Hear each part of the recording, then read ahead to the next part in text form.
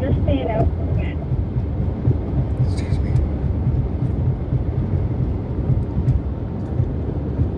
I don't know what was up with the cap.